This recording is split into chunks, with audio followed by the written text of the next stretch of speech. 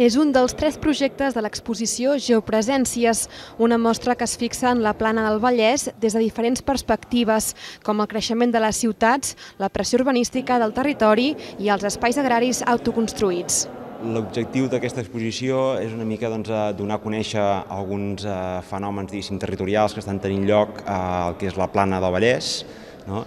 una mica doncs, per aprofundir en el coneixement d'aquesta realitat eh, metropolitana i per doncs, donar eines i arguments a la gent que visiti l'exposició doncs, de cara doncs, a tenir més eh, coneixement d'aquest territori.